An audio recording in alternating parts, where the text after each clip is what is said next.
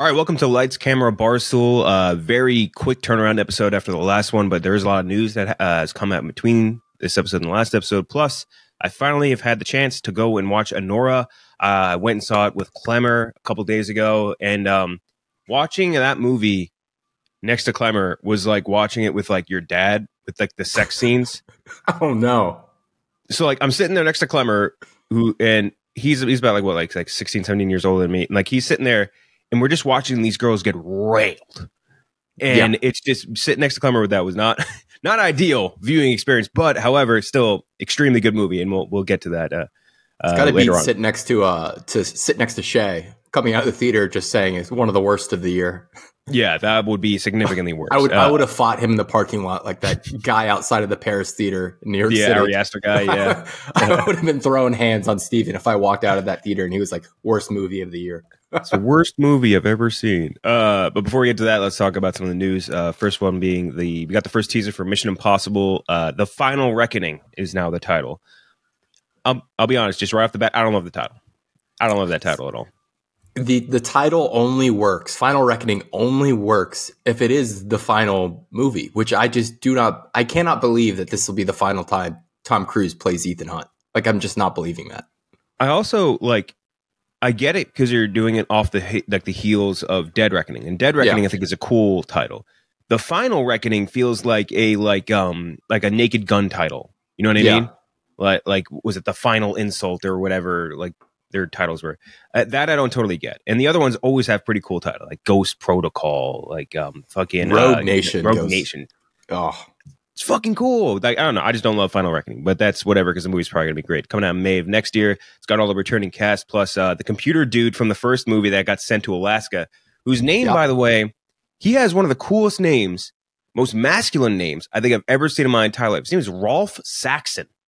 Rolf Saxon. Would you ever picture that's his name based on looking? I would picture his name as like Dave a, Jennings. He, that that man fought fought alongside like what is his name? Robert the Bruce, like Ragnar Lothbrok in the fucking Viking Age. Like that's that's just not the name that guy should have at all. Um, his name should be like you know like Dan Smith, BYU. Like that's I don't know, but uh, the Holt McCallany is joining as well. And Nick Offerman, Hannah Waddingham, uh, a couple others, uh, including a lot of people from the returning from the last movie from Dead Reckoning.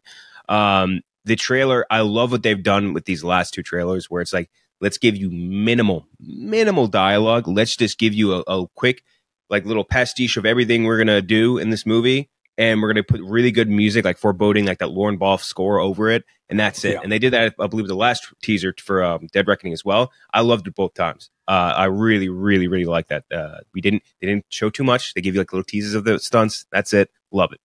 Yeah, I do. Also, they kind of pulled back on the the big major stunt this time. Like last for Dead Reckoning, they I mean, the stunt was awesome, even when I saw it in theaters, the uh, the motorcycle jump. But they really hammered that that yeah. home through the teasers and trailers, like over and over and over again. Um, they didn't do that here. A lot of Tom Cruise running in this trailer, which is really what'll sell some tickets. People are going nuts mm-hmm. for that. He looks so good when he runs. Mm-hmm. Oh yeah, and um, I think that's some of the other things, like you were saying with the motorcycle stunt. It definitely I don't want to say took the air out of it a little bit, but like you've seen it so many times already that like I don't know. I guess it did kind of take the air out. So yeah, not showing as much of it, I think was smarter. And um, I think also what will be smarter this time is presumably they will not put it out up against a behemoth slate, which I think was disastrous for Dead Reckoning going up against Bob, uh, Barbenheimer and just losing. No, you, you wait. We still have we still have time. Time for Paramount to move the Mission Impossible. They're gonna. You know what they're gonna do? They're gonna put it on that like same two week schedule. Uh, the Superman and Fan- Fantastic Four is releasing. Yeah, next year. Like that's some shit they would do. Just play it smart. Just play it smart. Use, Dude, just put find it, find a good runway for the for IMAX. That's it. They make it so complicated. like mm-hmm. just like put it out whenever. People people are not you know adhering to you know standard scheduling anymore. I don't I don't yeah. think that that's as much of a factor as it should be. It reminds um, me of um was it Trump when he um joined the or like the board of like the AFL and he's like they initially the AFL like they would play in the spring when the NFL was off and like the ratings were good they were getting good players a lot of shit. And then like Trump like convinced everyone like no we have to compete alongside the NFL so we could beat them. And then they immediately folded. Like yeah. they, they lost like that next season. It's kind of like that with the Mission Impossible, the last one anyway. It's like you could have you could have theoretically been in the perfect space if you just did a before, a couple months before, a couple months after. Ugh. They released a week before Bar- Barbenheimer. Still Yeah. just batshit insane. Like everyone knew that was going to be a massive hit, and all anyone was talking about. It's fucking crazy. Um, so in the other bit of Mission Impossible news is that uh, Tom Cruise reportedly wants Glenn Powell to take over for him. Glenn Powell said, "There's no way my mom would let me," uh, because his mom had seen the um, the stunts that they do in the movies, and he's and she's like, "I don't want you doing any of that." And to be fair, I don't think many people want to do that. I don't think a lot of people want to take over that same level of commitment to insane and dangerous stunts that Tom Cruise has. no, you'd have to be an absolute psychopath. But Glenn Powell, if he wants to take that next step, he's in the he's in the school of cruise now. There's no getting Mhm. out. Like you have to, if you're going to do it, commit. I do think if he wants to be that next level action star, someone, if it's not him, is going to have to pick up that mantle of like just being an absolute luna- lunatic. Like Yeah, like you, like it, it really does make a difference no matter how far cgi can take us. Any of the the volume effects like being able to do real stunts always plays. Hmm and uh, um, but I, I do not believe that. I, I think tom cruise might have said that to someone but i, I don't think glenn powell is ever going to be a part of this franchise. Um, I wouldn't mind him as a. I, I would never want him to take the torch of Ethan Hunt, if that makes sense. Like I wouldn't Yes. mind him being in the franchise at all, but would I want him to be the new Ethan Hunt? No, probably not. I don't think that that's. I, I I read someone posted a theory that Cruz maybe is battling with Paramount in the past few years, and they are possibly trying to once Ethan or once Tom Cruise hangs up his cleats, uh, turn Mission Impossible into a television series, which Tom Cruise is like, fuck no. like you No. will absolutely not do that to my baby. Uh, and so he's kind of playing a little bit of chicken with them, saying, you know what, I'll just have my boy Glenn come in and take over. But It's slightly different, but they did do that with Jack Reacher, and it was a massive success with a different character. Oh, granted, Yeah. that was a. I mean, it's not. going to sound that crazy different, but it is. The Mission Impossible is obviously significantly more successful in every possible facet than Jack Reacher movies were. Um, it's so dependent on like the Mission Impossible is so dependent on being able to do like massive like million upon million dollar stunts. Like yeah. I just don't think it works on TV. Yeah, I agree. Uh, a Game of Thrones movie is officially in the works. Uh, great, good. Um, it's I, like I don't know how many of these we've talked about this before with movies that have come out about uh, like like successor movies to series before, and how there's a pretty limited um like number of successful examples. Like like I think many Saints of Newark wasn't great. Uh, No. Entourage movie wasn't great. Uh, hey, hey, hey! The Entourage movie was great, Entourage movie was Dude. not great. dude. Like, Gronk, Deadwood wa- dude, Gronk, Gronk was in it. Ronda Rousey, come on, Probably the um best one I can think of off the top of my head was the Deadwood one. yeah, yeah. Um, but even that, like, it wasn't like that was a massively successful movie. So, like, I don't know. Um, I, uh, Game of Thrones obviously is like a way more of a behemoth than any of these shows combined, put together in times like a multiple of twenty. So, like, there's a way bigger fan base. But some, I think, people are craving something good at the same level of the early Game of Thrones season. But what part of what makes those so successful to me is the fact that you have all this time to draw out this political intrigue and doing that over like a two and a half hour runtime. I don't know how that works unless that's just not what you're going for here. You're going more for like a, a very condensed storyline, one big battle, and you're done. And if that's the case, sure. Uh, but yeah, I don't know. Yeah, I, I with you. I don't really understand how Game of Thrones works on the big screen unless you're going to commit to a massive saga like Lord of the Rings. Like they're big books. I mean, they're they're big ass books with long ass storylines, a lot of moving parts that don't really fit into a two hour runtime. Um, also, people are just programmed to want to watch Game of Thrones on HBO on Sundays. Like, Mhm. are they going to flock to the theaters to see it on a big screen, or are they just going to wait for it to hit the Max app when David Zaslav inevitably pulls it out of theaters three weeks into its run? Uh, Yeah. throw it on and get some more subscribers. Um, so yeah, I, I don't think this is the best idea, but at least they're doing something. And this one, this sounds very concrete compared to like all the other shit that's just been thrown at the wall. Um, Yeah. we also got the the first look at Dunk and the Egg. Um, Did, I don't yeah. know if you Well, saw that. Second look, little- I guess, because they showed for a while back the uh, just a quick, but it was like three tiny things. Yeah. Yeah. But I, I want more Thrones on TV. Thrones feels Yeah. it, it belongs there. Like it needs, like you said, a lot of time to just kind of get through all the political intrigue, get through all the storylines. I don't necessarily think it works in a in a movie format.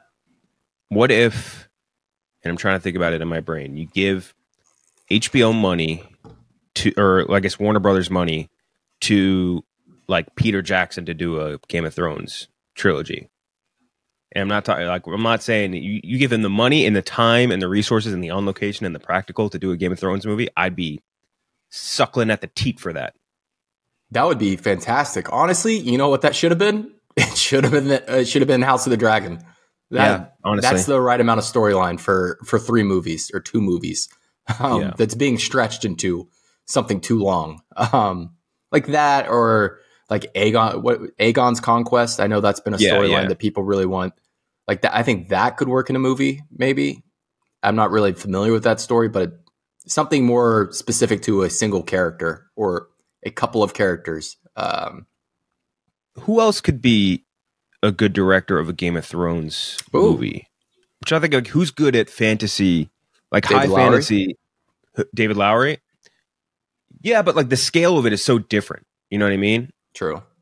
Like, Uh, I mean, Ridley Scott, yeah, but like he would never do it. That's the a- asking him to CGI in and like a dragon and shit. Uh, although I guess in his early work he kind of did some shit like that. Um, the what about the dude that uh he's directed like all the best battles in Game of Thrones? Uh, I forget his name, like David or he's the guy that did like Battle of the Bastards. He did um the big battle at not- uh, Rook's Rest in this one, right? It's not like Um, Sapochnik or whatever that guy's name was. Was it? It might be Michael Sep- no Alan Taylor. Alan Taylor. Okay. Okay, so yeah, he directed that, and I think he directed like a bunch of the other like best battle sequences. Maybe him, but at the same time, I think a bigger name would be cool. And if you gave like Peter Jackson the time and the money, send his ass down to New Zealand with a fucking crew of these people and make a Game of Thrones movie, man, that and like the Weta team, like that could be fucking awesome. That could. I mean, we got.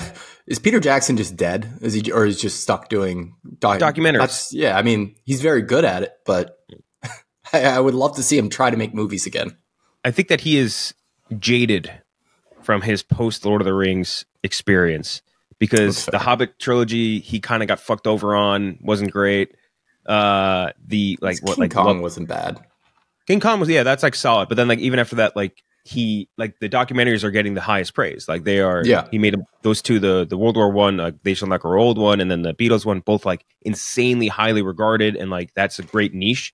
And the lift there is so minimal as far as like uh like budget budgetary um Yeah. deadlines like shit like that. So feel like that's much easier for him, and he's made like a trillion dollars off this Lord of the Rings stuff. So I don't know. I know he has a massive in hi- in his like uh, whatever his uh, uh, land on uh in New- on New Zealand or in New Zealand. He has like a massive lot and warehouse full of World War One relics that he just sh- keeps shipping them into uh New Zealand to keep and hold on to. Like he has like howitzers and like tanks and shit. And uh, do you I don't know if you remember when we interviewed what's his name Ti West from uh for Yeah. X or for Pearl. He said that they borrowed half the shit they used from Peter Jackson for the World Oh, War II. I don't remember that at all. Shit. Yeah, it's fucking very funny, That's Uh, yeah. crazy. very crazy. But I respect him. He's becoming like an like an old dad that just wants to collect weird shit for his hobby, and he except he just has multiple more millions of dollars than most of these other people. Uh, so yeah, that's Game of Thrones. Uh, Barbara Broccoli says that they are looking. Fucking stupid goddamn name. Change your name, lady. uh, uh, they're looking for an actor in the 30s for Bond, possibly a person of color. Uh, th- th- this is, I think, important because it eliminates a lot of actors people have floated. Uh, who are like in their 40s, uh, mid 40s, like even like um, for example, like Idris Elba, people have floated for a long time. That's now eliminated. Uh, there, I don't know who it would be.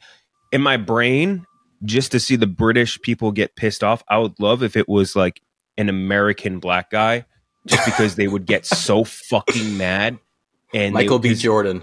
yeah, like throw Michael B. Jordan in as Bond, and oh my god, the hatred would come out of those fucking red faced people like nothing else. It'd be so funny. Um, we've talked about it a lot. I think with Bond, I think we're kind of both on the Aaron Taylor Johnson train, right? Yes, I, I'm very much. I would like to see someone more physical and bigger. And Aaron Taylor Johnson, I think, really sold me in Bullet Train. Like, he was That's just what I, I kind of really want to see that that iteration of Bond. Mm-hmm. He's only 34. Like you could play that character for a long time. He's got like that. We, we've talked again. You mentioned like Bullet Train. He was so smooth, so like smooth, sexy, hot, fucking physical. Uh, he's done great in some in like really dramatic roles, and he's done great in some very just pure action roles. So that kind of fits the bill for everything you want out of Bond. Yeah, uh, the the pool of people to choose from is surprisingly thin. Like, you know what I mean? Yeah, like, it's always felt like there's so many actors that could play Bond, but once you narrow it down to actors in their 30s, there's not a lot of guys like that out there right now. At least, be like, you said off the top of my head, like there's like Theo James, Dev Patel, like great choices. Uh, Kaluuya has been thrown out there. I don't think he would do it, but I don't think he'd be a particularly great fit. Yeah, like in the same way that I don't necessarily think that um he's almost too sleek.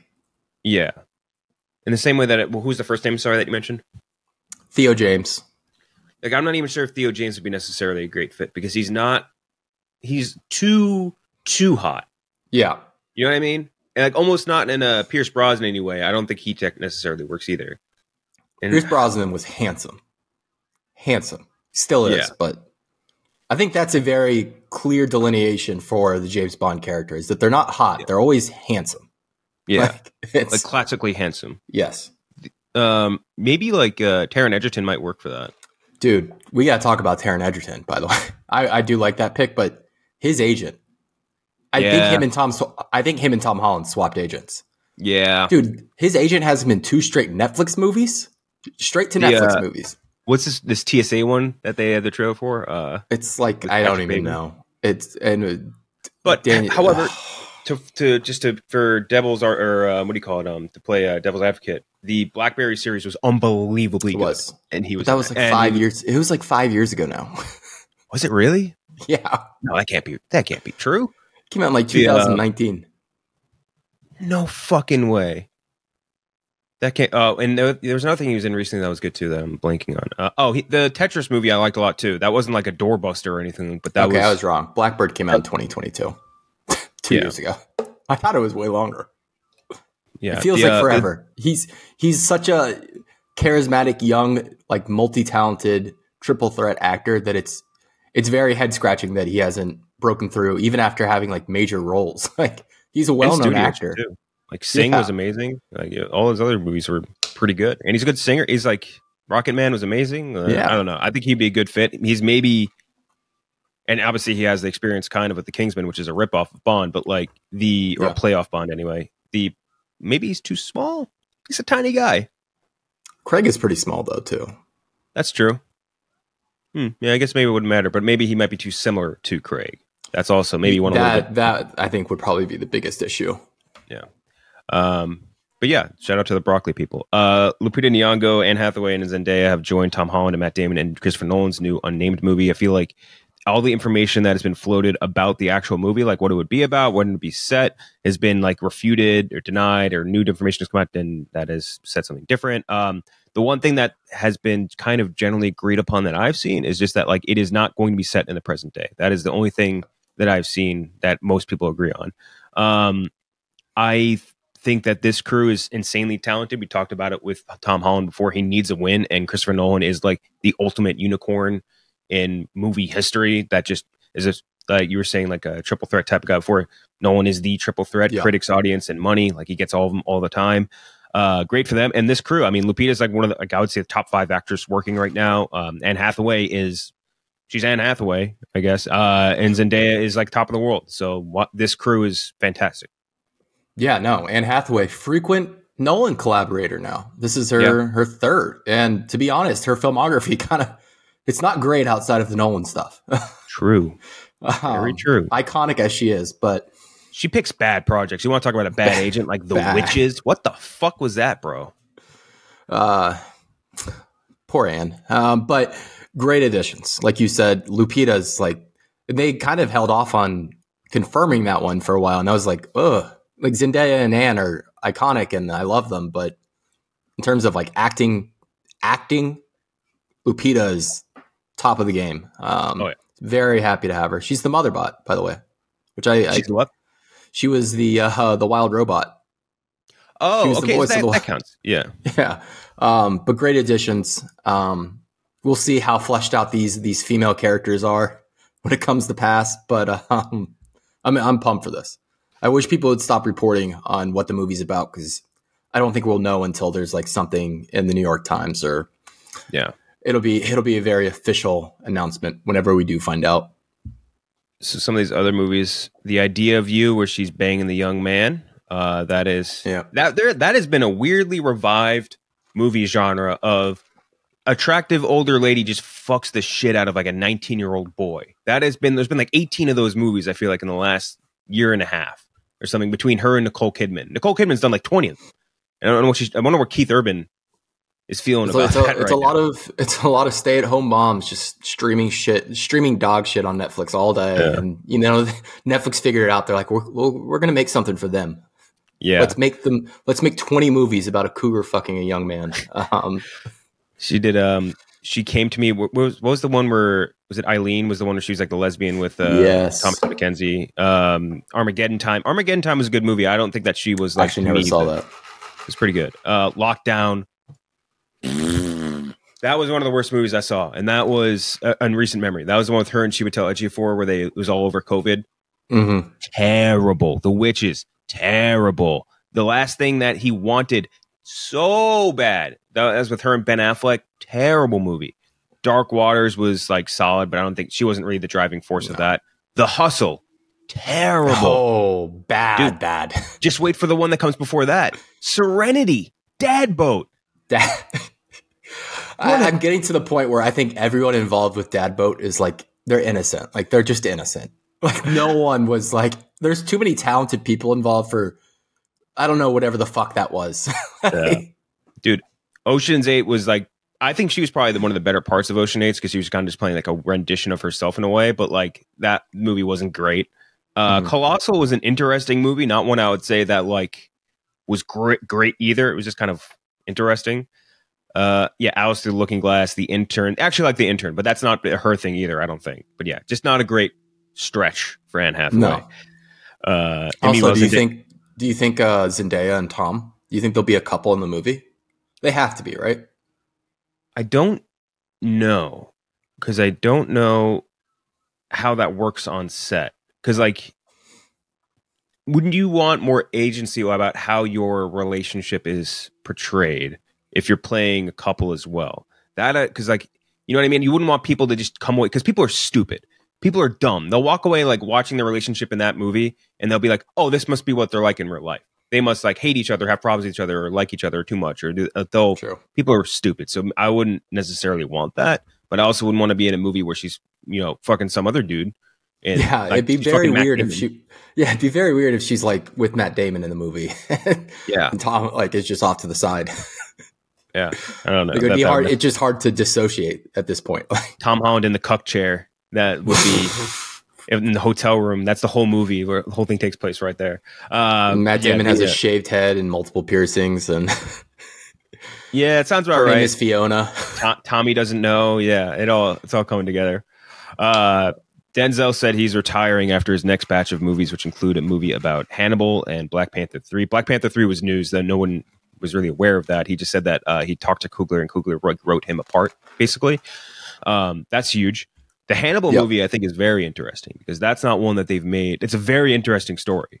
Hannibal and Carthage in general and their wars Mhm. with Rome. Um, very cool story. Him like bringing elephants all the way across the fucking Mediterranean to crossing the Alps and attacking Rome. It's a very cool story. Uh, that's cool. Um, I don't. I, I'm kind of sick of actors saying that they're retiring and then just unretiring like a year. I'm kind of sick of it, and I don't feel like Denzel will retire. Someone will come out with something that he he's like, oh my god, it's like a dream thing for me, and he'll do it. So I don't necessarily believe that anymore. Yeah, I don't. I'd never imagined Denzel would be a guy to retire. To be honest, he just seems like he loves he loves the work so much, and I don't see him pivoting into any kind of behind the camera work. I don't think he's ever had his hands in that stuff. So is he going to step away from the industry entirely? Probably not. Does he have a production company? I don't know. It's a good question. He might be teamed up with Antoine Fuqua, actually. Now they do do like it. everything together. They do do. Um, but yeah, I. I, I never imagined him to be a guy to retire. Um, He, the Black Panther three thing. He'll, he'll have one scene in that movie, if that, if that.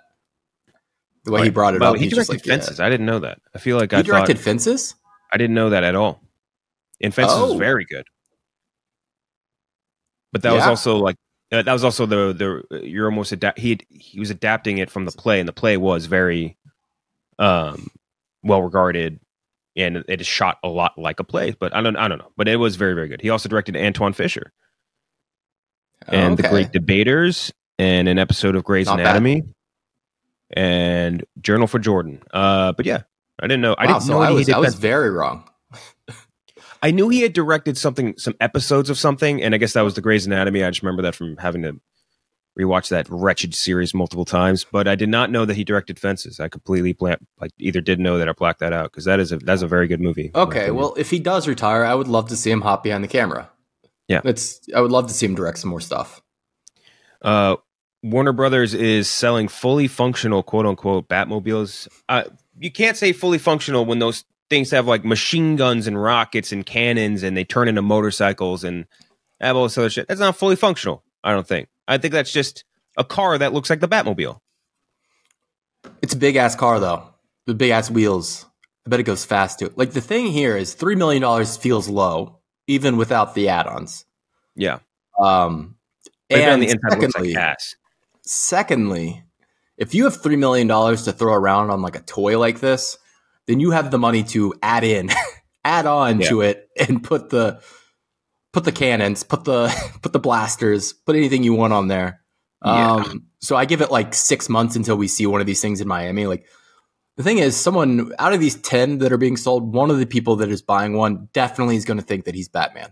Like Yes. he's one hundred percent rich enough and thinks he uh, can like do it. Like he's like got his mind set. Yeah. um, so I'm very excited to see which city this guy pops up in, thinking that he's a vigilante. I can kind of see in my head it being Mr. Beast.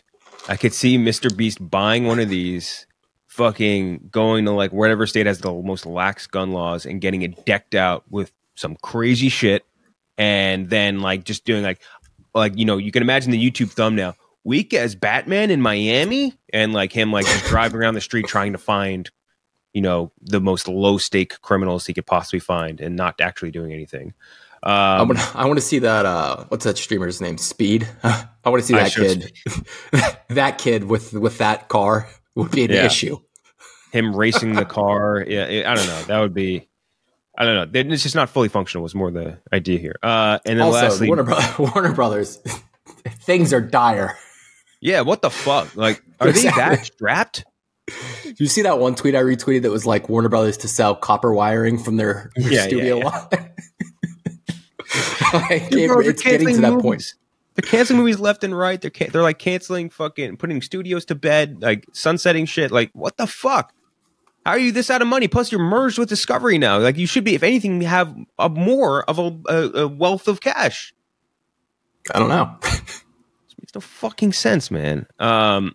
Anyway, the last bit of news: uh, Mark Rylance is apparently the first choice for Dumbledore in the upcoming, speaking of Warner Brothers, uh, Harry Potter series. Um. Yeah, I mean that's a good fit. Uh, Rylance is quaint old British guy. He's maybe not as, at least in the movies that I've seen him in. Uh, like the, I think of the character as Dumb- of Dumbledore as a generally jolly old fellow, and I never don't think I've seen that with Rylance. He's more of like a mysterious, creepy old fellow, and I don't get a lot of like warmth or joy out of his face or acting. So I don't, uh, I don't know if maybe that necessarily is a fit, but like as far as older British actors go, it's not many better. Yeah, no. I think the biggest thing with the and I don't think the Wizarding like the the original Harry Potter series really gets enough credit for how well they casted. I mean, there's really like one miss in the whole cast, and it's like they casted her when she was eight years old, so and Ginny, but like just didn't work out. You know, didn't grow up the way you expect and didn't develop the way you expect. But the rest of the cast is unbelievable. And I think a Yeah. big part of that is they got like classically trained stage actors. And that's what Rylance is. Like so he's a good fit. I don't know if he's the best fit for Dumbledore, but I do like that they're like targeting like movie stars, really great actors. That's what you need to do. And I think this will work. Is the thing. I, I really do think this Harry Potter series will end up working. Let me let me run an idea by you for a Dumbledore, and let me tell you what you th- and then tell me. What you think. So Mark Rylance is 64 years old, right? Mm-hmm. Playing going to be playing Dumbledore. There's another actor. He is 63 years old.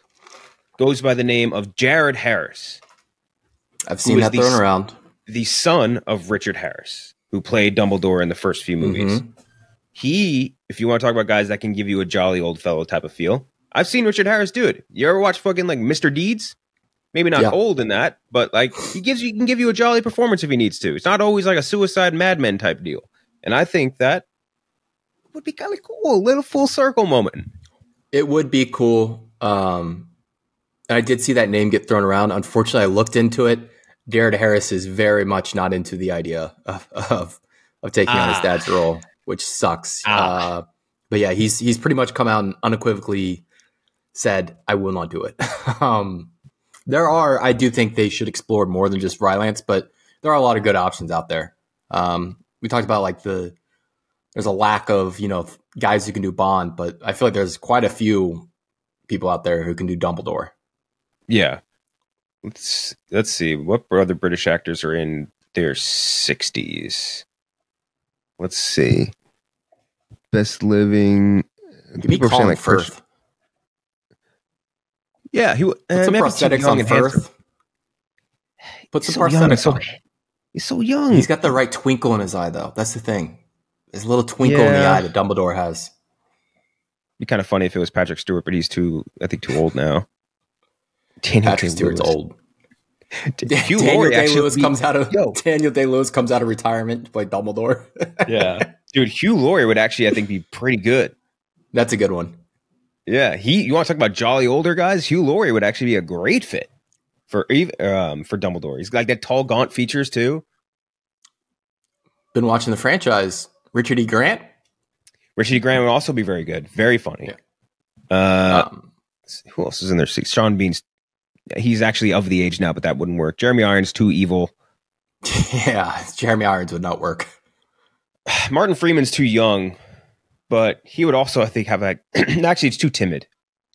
Ben Mhm. Kingsley.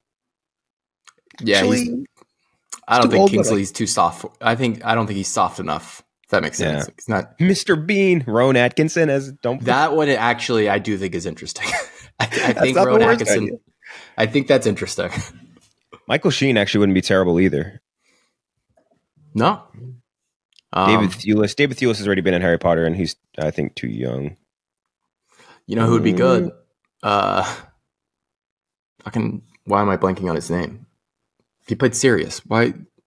Uh, Gary Oldman. Yeah, Gary Oldman Yeah, that would be terrible. wouldn't be bad. Yeah, it's, It's so one of funny, those things it- where can't break In this back. list of older British actors, almost ninety percent of them have already been in Harry Potter. Yep. Uh, ooh, Ian McShane wouldn't be awful. No, but he. I don't think he's got the voice for it. Clive His voice is amazing, but it's like too. I don't know. Too swashbuckling. What about um? Who's the guy that played the sorcerer in um? Uh, Ciarán Hinds. I don't Ciarán Hinds that. might not be terrible. But he's he's got that. He can he can have that jolly look to him. Fucking Jason Statham. I don't know. what's- Jason what's Statham. Dumbledore. Yeah. Oh, Hey. Matthew Goode, the guy who played uh, Ozymandias. He's definitely still too young, but that would be not terrible. Rhys, oh, oh Rhys Ifans from fucking um, like he just played uh Ooh. Otto Hightower. Yeah, damn. Rhys Ifans would be awesome. That uh, I'm, I think I'm kind of sold on that. Uh, anyway, sorry, that was too long to spend on Dumbledore. Uh, now we can talk about Anora. Um, Anora movie that you have seen, you saw a while ago. It took forever just for me to get to it. Um, big time Oscar frontrunner in multiple categories. Uh, written and directed by Sean Baker, starring uh, Mikey Madison, Mark Eydelshteyn, which I believe. Yeah, I think you nailed right. that right off the bat. I'm pretty sure that Yeah, was exactly right. I looked it up first, and that's what they said. So if it's wrong, you can blame Google. Um, and Yuri Borisov, uh, Anora, a young sex worker from Brooklyn, meets and impulsively marries the son of an oligarch. Once the news reaches Russia, her fairy tale is threatened as his parents set out to New York to get the marriage annulled. Um, again, big front runner. A lot of hype going into this. Uh, Sean Baker is like batting a thousand, has not missed once in his filmography. Uh, most recently, obviously, Red Rocket, which was super highly regarded. We loved it. Um, uh, Florida Project, same thing, very highly regarded. We loved it. It was amazing. Uh, Sean Baker has been really, really good at capturing like the underbelly of the of the the country, basically, and like really making it feel authentic and real. And he casts a lot of people like from these worlds within the movie, which also works out great for the most part. Um, this is, I think, out of all the movies I've seen from him, like obviously the biggest undertaking because yep. it's the most money he spent in it, the most budget he's put into it, the biggest sets, the biggest scale, the biggest everything.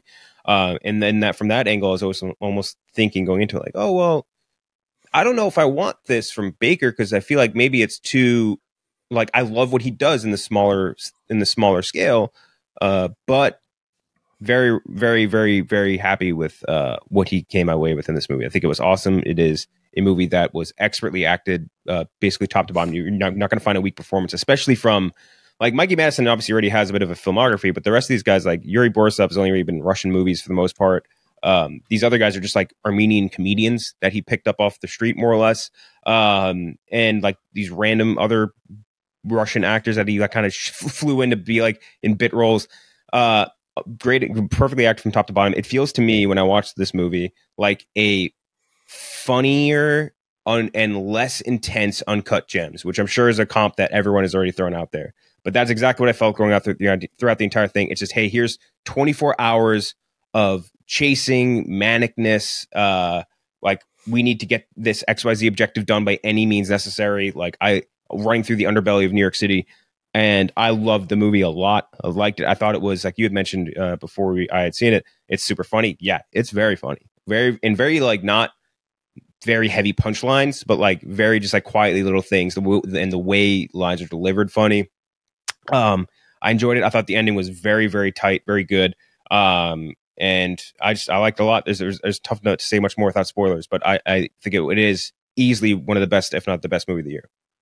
Yeah, no, I I loved it, and it's the kind of best picture nominee, best picture winner, hopefully. Uh, that I think we've been missing. Like it's very accessible to I think almost all audiences outside of Stephen Shea. Um, yeah, basically, yeah. Which was a, a, concern going in. Like Sean Baker, I loved his movies, but I'm not recommending the Florida Project to really anyone outside of people who know what the Florida Project is. um, people who are really into movies. This mm-hmm. is a movie that anyone can watch. It has like shades of The Hangover to it. Like it really does. Yeah. Like it's it's a worst night ever, worst day ever type movie um, that never stops, never lets up. Um, there's a very clear moment where the movie takes a turn, um, but it never stops being funny or stops being engaging. Um, the performances are incredible. I think Mikey Madison is as much of a lock as Cillian Murphy was last year, as much as of a, lock, a lock as we'll see, you know, this decade. Like no one's taking that from her. Um, Sean Baker, fantastic, becoming a household name now. Um, if you've this is the first movie you've seen from him, which I'm sure will be for a lot of people. You'd like his other movies too, Red Rocket especially. I think this is oh, yeah. closer to Red Rocket than it is to the Florida Project, and just right. it's very funny. Um, and then yeah, Yuri, Yuri Borisov, which we'll talk about. I think more about his performance and his deliveries and kind of how he ties into the end. What a like out of left field person to find. Like that, that was such a great performance. I was I was blown away by it. I think in a just world, he gets a supporting actor nomination. Probably doesn't happen. You know, he's not well known, but he was incredible. Uh, I, I love this movie. If it wasn't for Dune 2, it'd be my number one of the year, but it's my number two of the year right now. Mm-hmm. So, yeah. Awesome movie. Uh, I think from here on, we'll talk about some spoilers. So if you haven't watched it yet, skip forward. Um, so I think that uh, the big highlights for me. Let's talk about the opening first. sure. Yeah. Crazy. Um, the opening is awesome. Just it's 15 minutes of lap dances from Mikey Madison set to like unbelievable. Set to like the most stripper music of all time. Like we're gonna have the best party of our lives, like shit like that. Uh, it is. I think that uh, to his credit, there are very few. I think directors maybe or other people that can like capture the down and seedy vibe of a strip club like Sean Baker does. And Sean Baker has done a lot of shit with like sex workers before, so like not Mhm. fucking shit sex work. Like he's done he's done movies involving sex Yes, workers. his last three movies have all been yes. Yeah. So they, he's he- this is something he's like very like he understands and is comfortable in this world. Um, I think that he captured the strip club beautifully. Just not even from a um, I think uh like a writing or whatever standpoint, but like cinematically, like it looks Yes. very very good. It is amazing to look at, and then like especially from that opening fifteen minutes, like going from her in the strip club to like passed out on the subway coming home at like seven a.m. or whatever, and having to sleep all day. Like that is, I think, really well put together. Uh, almost reminded me a bit of um the uh the shot. and We talked about this recently with Widows with Colin Farrell, like from where he works to where he lives. Is it going to the same thing? It's like, yeah, in this world, I'm making this money. I'm like rich, or, or oh, not rich, but you know what I mean. Like, I'm like, we're having fun, we're drinking, we're partying, blah blah, blah. and then like going back to like a shithole in like whatever, like uh Bensonhurst or where I don't even know where they were. Um, but yeah, they uh, the, I, I really enjoy that first fifteen. Yeah, that that like you said that that journey from the strip club back to her house is like the moment where you kind of come onto her side, uh, which he hasn't had many characters like that in any of his movies, where you actually want to root for them, especially Yeah. main character wise. Like you never wanted to root for any of his main characters; they're always deplorable human beings. This is just you know someone who is a dancer and you know is working class, which I think that opening sets up perfectly. So you're immediately on her side and whatever is going to follow. Mm-hmm. Um, and I think that the setup for this works really well too because they set up uh Von or it was Vanya, right? I keep on it. I keep fucking up his name. Um, Vanya, the the, actual- um, yeah, the kid. Uh, he I think they set him up really well in this movie to make you kind of trust him, right? yes, where like you you you're like oh this is just like a goofy kid that is like he wants to go out and do his own thing. But at the same time you're getting like the shades of like oh this is also like a fail son. This is like Mhm. a, a fucking like a succession kid like roman roy type character almost in a way where you're like this kid could also just be a shithead. Um and i think they set you up to want to root for um Anora and vanya which is smart. Yes, and I think that the way that all ties back to the end, where it's like, and this is something that I think Sean Baker does brilliantly, and it's kind of similar to how the Penguin recently ended. It's like there's the fairy tale endings don't happen. You know what I mean? And I think that this movie does a good job of kind of like deconstructing that a little bit, um, and by setting you up with Vanya and by making you at the same time like you you're rooting with Anora and with Vanya against the f- parents and against Mhm. Toros, and they kind of give you that middleman with um, Igor uh, which is nice because then that helps when you flip later.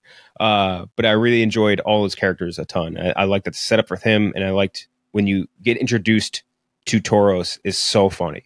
The way you get was he fucking Man. killed me, man. He was so funny. It's great. Um, but yeah, like you said, like it, it really does. The second half works because it really gets you to invest in their relationship. Like you really think that there's a chance that they're going to end up together, that they actually do love each other, um, and that they're going to run off into the sunset and escape his parents and end up with, you know, enough money to get by for the rest of their lives because he's just rich. Um, so when the betrayal does happen in the second half, you kind of lose hope with her. Like you hang on to that hope Mhm. for even a little bit too. Like while they're driving around looking for him, you're like, maybe he'll come back and everything will work out. Nope. Mhm. Um, but Toros, every time he took a fucking phone call, when he was in the in the in the church uh, doing the baptism with, with the so sorry. baby, I'm so sorry. the baby in one hand, and he's like checking his phone. No. he looks at the phone and says, "No." It's so Oh. good. killed me. Yeah, he was and really good. the, at, uh, was it and Garrett? then Was the assault on the house. What was that? yeah, the assault on the house was very, very funny, like top to bottom, because like it's never, it's never like too dark. You know what I mean? It's it's it Yeah. stays relatively goofy, but at the same time, like oh, like they are kind of like kidnapping this woman to a degree. Like Yeah, and you're uh, like, holy shit.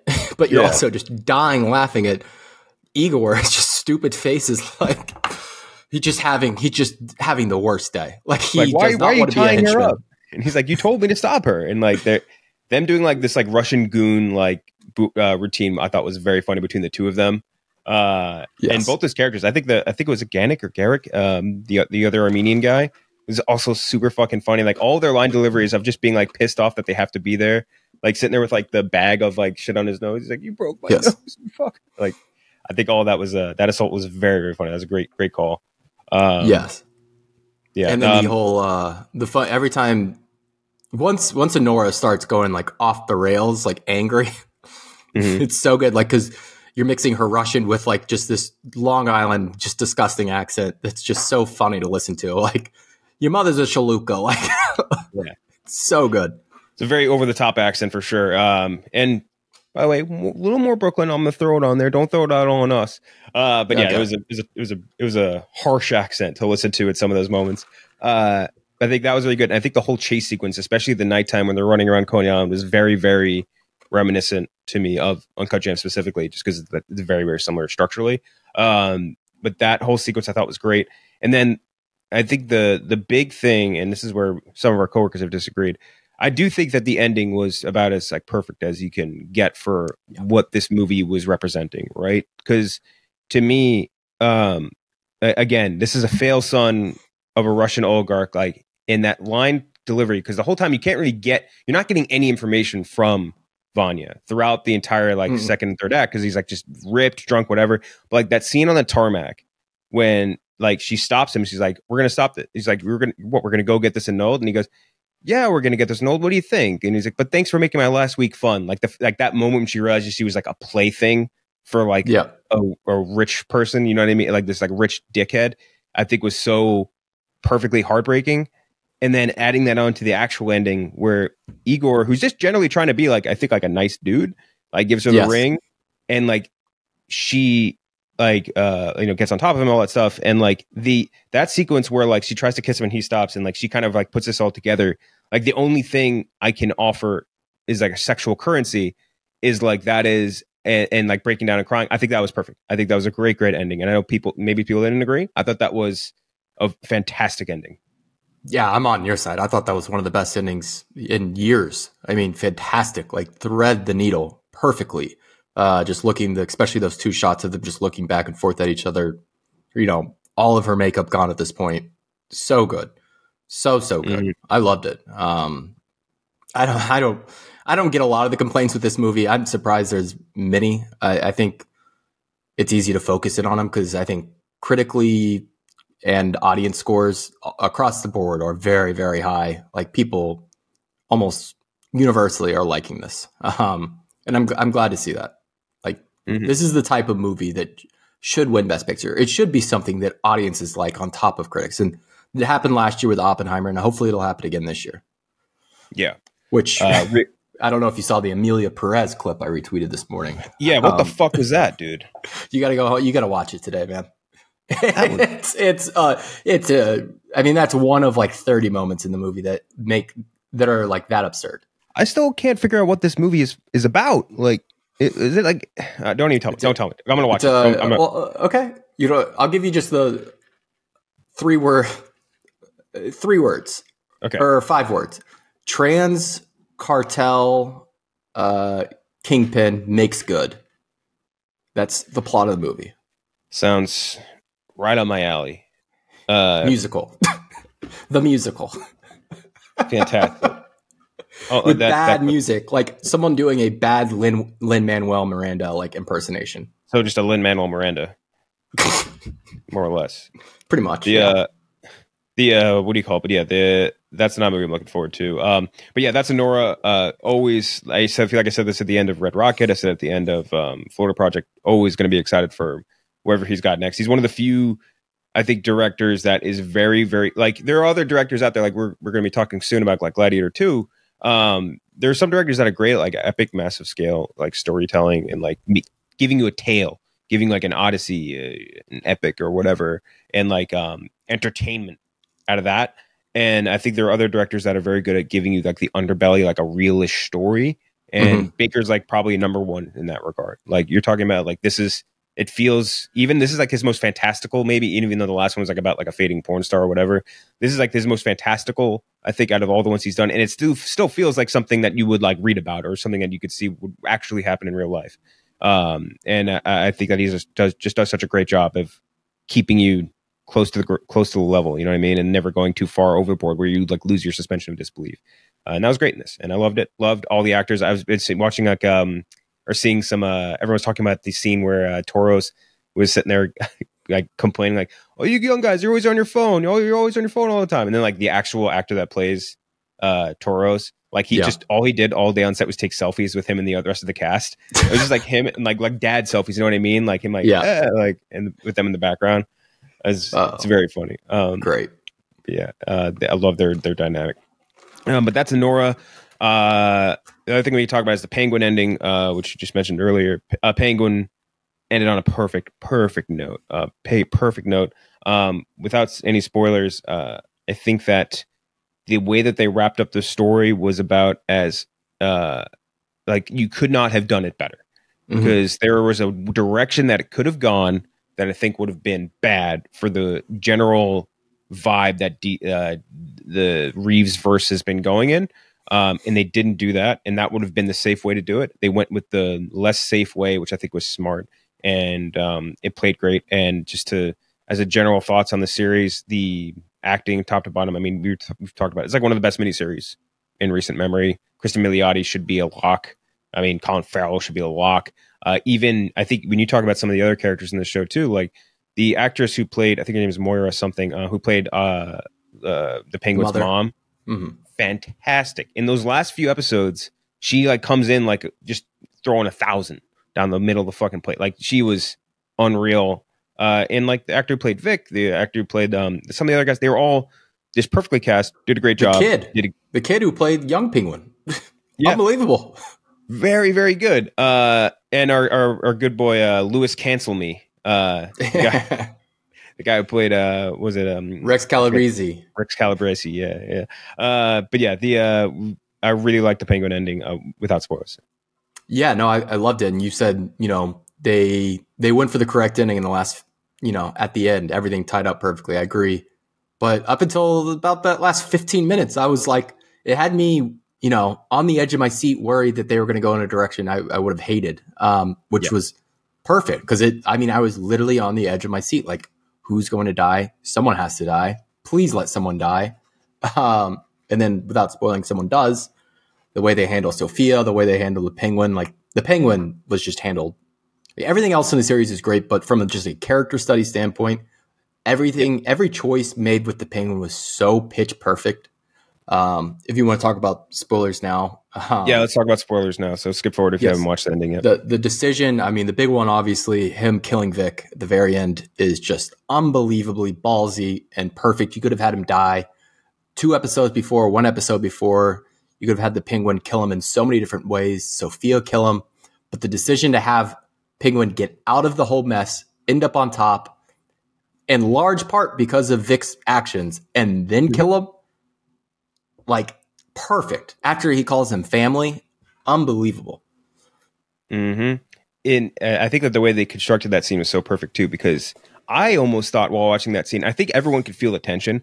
I almost thought that Vic was going to kill him. Yeah. I was like borderline on. I'm like, I don't know, something is going to happen here. I just, I don't know what's going to happen here. Uh, it's going to be one of them is going to kill the other, and my in my brain, I'm like, he's going to take the lessons that the Penguin has been giving him and kill him more or less, and like Mhm. take out his own weakness. But uh, I've liked the way that they went with it. Uh, Kim killing Vic is it, it is almost like um you ever like I forget if it was like Spartans or some shit like um they would like be like soldiers would be forced to like raise a puppy and then they have to kill it before they graduate. You know what I mean? Like it's kind of Yes. like that story with Vic where uh like you you meet him as this like doe-eyed super innocent kid that you build a lot of empathy for throughout the series with like his family um getting killed and all that shit and like you you root for Vic. He's the actual good guy, and you root for the Penguin to a degree because he's the lesser of two evils, and to uh, to a degree in the rest of the series, and that kind of like battles up against um, Milioti. But like they're both battling up against the the crime family, so it doesn't they they don't clash that much until later in the series. So I think that that sort of feeling of betrayal and reverting to the fact that like, look, we are, it is a series about the Penguin. He doesn't need to be the good guy. He does need to mm-hmm. end this as the good guy. He is a piece of shit, like criminal mastermind. He's a bad guy. He's a bad guy. But so I like that they went back and they, they brought us to that level, and that's helped set up for the Batman two, which will come out, I'm assuming in 2030 at some po- at some point. Um, yeah. But we'll get there, which is nice. And and I think Colin Farrell did say that he does. There is planned. It is planned for him to be in uh, yes. Batman 3. The, I think he said like five to sixteen. Who knows what that means? But yeah, yeah. He, I think he very clearly has a role uh, moving yeah. forward in the Batverse, which is great. Um, he's also just much more villainous now. Like yeah. he was scary in in you know the Batman. Like he's a bad guy, but he's very clearly an underling. Whereas now he's, I mean, the kingpin of of crime families. Um, yeah.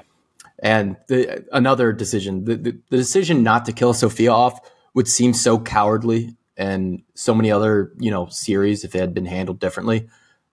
But the way it, it's set up, where it's like, oh no, you're going back to Gotham, and we showed you in episode four how fucking awful Gotham is. This is worse than like Arkham, killing yeah. you, or Yeah. yeah. Arkham. This is worse than me killing you. Um, Yeah. and you could see just the the fear in her eyes, like she's like let down that she's not being shot in the head by the penguin in that scene. Like she's like, Mhm. fuck me. Um, great stuff. Great, just great stuff. Um, I'm trying to think of other things. The very end with uh, you know, he's keeping his mother locked in a room, Yep. vegetable mom, and he's having his he's paying his hooker girlfriend to uh, dress up in her old dresses and put her hair up act like, her. Yeah, crazy, crazy stuff. Um, Bates Motel shit. Yeah. I mean, unbelievable. Yeah, Yeah. no, I, I really hope the next one doesn't. Whatever they do next, I don't think I want Penguin season two right off the bat. Maybe, and I don't think I want Sophia, but I, I really do want more. I want another villain. Um, Yeah. any kind of other character in this world, or like Clemmer brought up the uh, Gotham Police. We could do that. Anything really.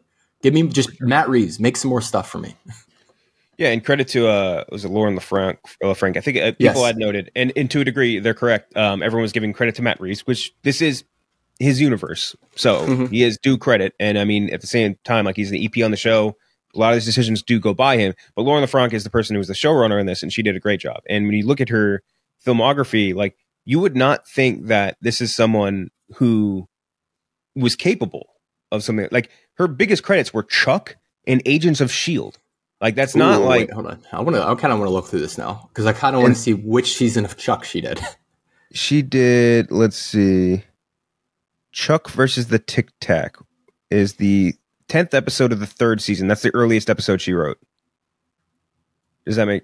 I don't know what the se- I don't know how the seasons work qualitatively on Chuck. season season three is a good season. It's not the best season, but that's it's Chuck versus before the- it got bad. I'll give her that much. She basically did the third through the fourth season, from what I can tell. Yeah, how did she? Now I'm looking at this. How the hell did she even get this job? I don't know what Impulse is. I never watched that, so that maybe I'm just. It's a let's see what channel is this on YouTube Premium. Okay, so oh, and here's an interesting thing about her that might you might be interested in. Um, so she was the executive producer on Impulse, which is a YouTube Premium series based on the Jumper book series by What Stephen? Gould. LaFranc I'm joined the have to watch series after the pilot was directed by Doug Liman. I might be watching this today. On uh, Yeah, on YouTube Premium, what the fuck is YouTube Premium? I have no fucking clue. It, it is literally is- a jumper. Gamecast. This is Bro, this is a yeah, this is fucking She made a jumper series with I don't know any really many of these names. Let's see. Uh, I know Keegan Michael Key, and that's basically it on this cast, more or less. Yep. Daniel but yeah. I wonder if he's related to Tatiana. Um, but wow, yeah, no. Hats off to Lauren LaFranc. Um, I think there's a lot of elements in here where you can clearly tell it was written by a woman, but in the best way possible. Uh, Yeah. especially as it relates to Sophia's character. Like, Yeah. great stuff. and you get a lot of like uh, influences from other things too. Like I mentioned, like even like the like the killing the dog thing. I think is a borrowed motif. Like a lot of Soprano stuff people mention. I still think that I completely disagree with the people that said like, um, oh, uh, Oz and Vic are like Tony and Chris. Like again, to me, I think Penguin is Chris. He is Chrissy all the way through. Just insecure, want d- thinks he deserves more respect, wants the power, wants all that money, wants all that stuff. That he's Chrissy. I think it might be closer to, uh, and maybe not even that. I was going to say Walter White and Jesse, uh, where Walter really uses Jesse to his own, you know, ends and really fucks Jesse's whole life up. but He does, think he, but he does like help him at the end. Mm-hmm. he does. Can't say the same about Oz. Yeah. No. He's he's a truly evil character, like as evil as we've we've seen. Yeah. The uh, uh what do you call it? Um, I think that they're it was a really good, great series overall. I think they do such a such a great job, and uh, they mentioned how they want to go character study heavy on the rest of the ones. And I, like I, I agree with you that that would be the the golden standard for anything DC moving forward. And man, how much do you think it sucks to be anybody in Marvel television right now? Just DC cannot miss in live action, and all Marvel does is just at best, at like the best they get is like a like a Loki, and then like the mean the mean for them right is like below mediocre. Like like like I would say like more like their their mean is like a sixty like a sixty overall. I would say right.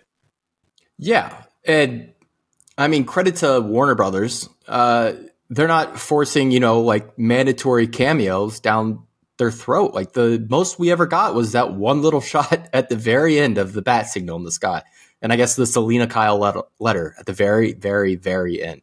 Like yeah. it gives the writers and everybody so much more freedom when you're not worried about how is this going to affect the overall universe, the overall ecosystem of our of our you know MCU. Like yeah. they're not worried about that.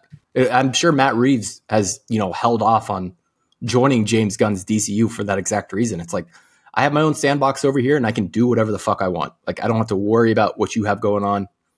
It's better this way. Um, exactly. So, yeah, and it's good. It's good for DC on a whole. I mean, you, are to not have like imagine if Marvel could just make a split off universe for something and yeah. no one would care. Like, and people like that because they could just do a different tone. You can do a different thing. Not everything needs to be tied together. It is. It's great for both parties because it gives mm-hmm. you general interest in your broad spectrum IPs while also letting you do your own separate stuff. So that's I think. And realistically, Marvel, their television should be like that. It should be siloed off yeah. in, the, in, the, movies because, I mean, uh, we're what five years into this Marvel movie or Marvel TV. Yeah. None of the series stuff has affected the movies at all. Like they don't really tie in at all. So like, why are you really even adhering to the universe's like rules at that point? Like, do your own thing on television. Do fucking Werewolf by Night five hundred times. If you do, were, do so Werewolf by Night too. Yeah, dude, you'd be so much better off in every possible way if you just did more Werewolf, Werewolf by Night uh, anthology stuff. Uh, you mentioned the franchise before. Uh, I like the last franchise episode a decent amount. I, I, think that one of the cool things about the series, and this is, we we talked about it before. It's too insider for me to recommend this show to basically mm. anyone, which sucks. But like, if you pay attention to movie news and you are like, just I would say even like remotely invested in that world, there's so many things. Every single episode tackles a different like sort of uh um scandal that hits franchise movies all the time, and every episode tackles it individually and is very funny. Like um this episode, this episode I thought was really good. Specifically, fucking. Actually, ha- I'm just now realizing I have not watched this re- most recent episode. But go ahead and talk about it because I'm just gonna put well, it on afterwards.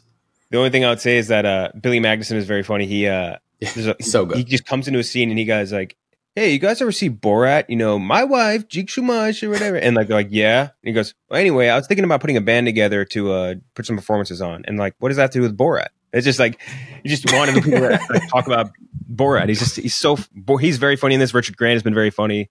Uh, Dev Patel, great. Like everyone's been, or not Dev Patel. Oh my God. That was racist. Um, oh my oh, God. No. what the fuck's his name? Oh, do you think about Himesh Himesh Patel? Himesh Patel, yeah, Himesh Patel. Sorry, yeah. um, but he, has been very good. Everyone's been um, uh, fantastic, top to bottom, and I really like. I really like. I don't know the actor's name. The guy that plays like the Kevin Feige. yes, I was about he, to say that. he's so funny, dude. it's, it's like oh my god that that FaceTime call. He basically pulled the the, the Les Grossman. like yeah, yeah, this is, yeah. This is how we get reamed out in 2024. Like the China, the tractors from yeah, the, the, tractors thing. Not the most recent episode, but the episode before the, the tractors killed me. Mm, that was that was oh, so good. They're speaking. It's like going. It's like in reverse, and it's like speaking Mandarin. yeah, yeah, yeah. We're in space. How are we going to incorporate space tractors? And like, oh well, the thought process is since you incorporated one, you can do all of them uh, instead of putting it on like Centurios or whatever the other one. Yeah. Oh, uh, but yeah, it, it has been uh, a fun time, not one I, I feel safe. If you're listening or watching to this, like you would probably like it. That's what I would say. Um, but outside of that, it's tough to recommend. Uh, anything else you've been watching? Uh, no, I saw a, a, different man. Pretty good.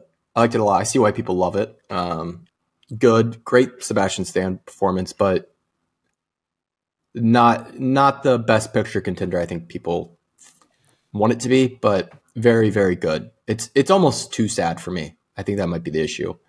Do you? Uh, uh, people said it's Sebastian Stan's best performance. Would you agree with that? You know, I actually think his apprentice performance was even better than this. like he was, he was really good in The Apprentice. Like Definitely he makes you he makes you believe he is young Donald Trump. Uh, about thirty minutes thirty minutes into that movie, and Mhm. never lets up. Um, I'd have to think harder on like his other perform like other roles he's taken on, like outside of Marvel. But it was, I mean, if someone said that that was their favorite performance, I, I would absolutely have no problem Mhm. with that. Like that's very fair take. Yeah um, trying to think of what else I've been watching. Um, Silo a lot of season two drops this week, uh, weekend, I think. yes, Could be wrong. Right? I still haven't watched. Um, I, I think I did the first episode of Silo, and I just kind of like fell off, and I was like, oh, I'll get back to it. And I just haven't. And I, everyone I know that's seen it has Mhm. really liked it. Um, and I love Rebecca Ferguson and Good. basically everyone involved. And I like It picks up. It picks up. I will say that. Yeah. I'll get back to that. Um, what else? Oh, I rewatched Dirty Harry. Uh, What We Do in the Shadows has been very has been funny. Not as funny as the previous season, but still very funny. I haven't started that yet. Damn. Um, yeah, that's been airing. Uh, and then I, I watched, and you you had did the did the graphics. I'm sure. So uh, I watched this Arnold movie, this old Arnold movie, Raw Deal, which Yeah. I think I watched with my dad when I was a kid. But there's such a funny line. Like the character's name is like you know John P. Smith, and this guy goes like.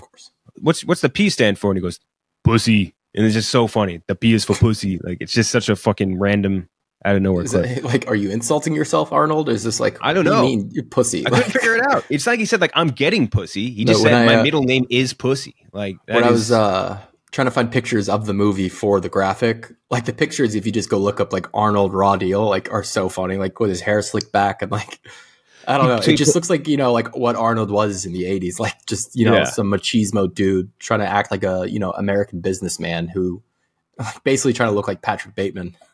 no, like his scared, and it, this is one of my ultimate favorite things about every like Arnold movies. His name is like um, I forget Yeah. what it is. It's, it's like Patrick Benson, and it's unexplained why he has just the thickest Austrian accent you've ever heard in your life. Like, hello, my name is Patrick B. B. Benson. I am from, uh, uh, I think he's from like New Hampshire or something. It's like, no, you're not. one the one in Total Recall, I think, might be the fun. It's either Total Recall or Jingle All the Way has the funniest one. Jingle all the way. He's uh like Max something.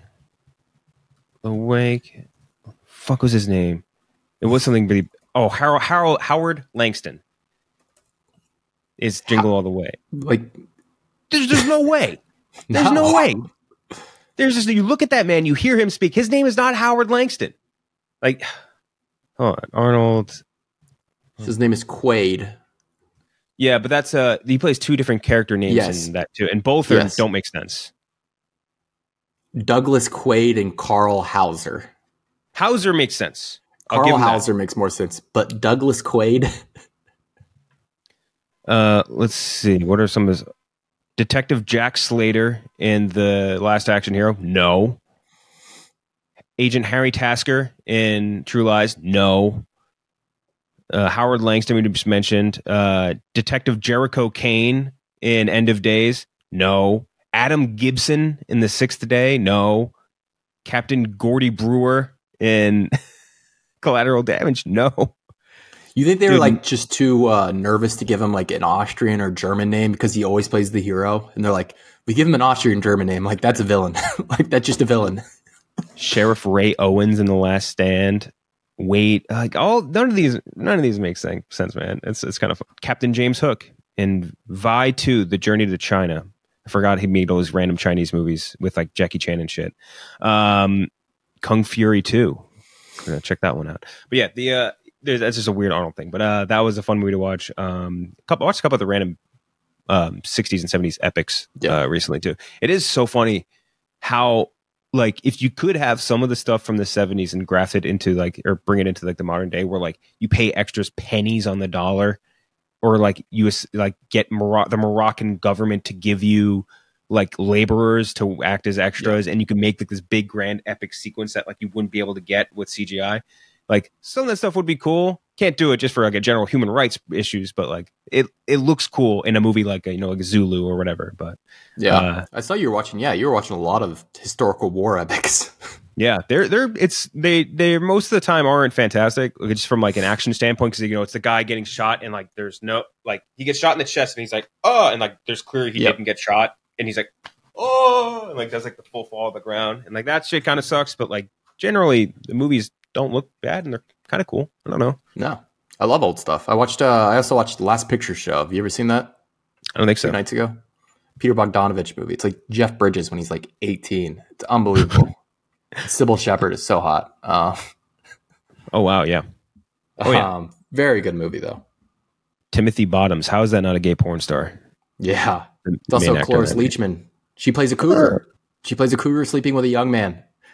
She plays a cougar in a movie in 1971. That's how old she was in some of these other movies. Uh, yes. But yeah, uh, shout out R.I.P. Cloris Leachman. Um, but yeah, the uh, we'll be back next week with a new movie. I think that we will have a lot to choose from. I don't. I wouldn't want to do like a different man. I wouldn't want to do something sadder. I feel like we have something big coming. Oh, out, there's a lot of big stuff. I mean, this is we have Gladiator two comes out in what two weeks? Yeah, that'll same be. same week as Wicked. Um, oh, we gotta do. You know what we gotta do? And it's gonna be a terrible movie. Red one. I've been hearing so many god awful things about this. I can't of- wait. I hear it's like the worst movie of the year, which I'm Yeah. pretty excited about. yeah, me too. I'm like legitimately pumped about it. Um, yeah, Gladiator 2, Wicked, Spellbound. Uh, I heard, I think Elric said like Wicked. He's like the funniest thing about Wicked, which is a 160 mo- minute movie. That's a part one of two. Was like, let me tell you the whole story. Is the first line of the movie, which is just no, not. like- like it's very funny. Uh, let's Oh, do Red One. Let's do Red One next Yeah. week. That'll be fun. So go watch Red One. Uh, um, hate hate to ask that of you, anyone, but go watch Red One. I know. all right. We'll, we'll see you next time. See it.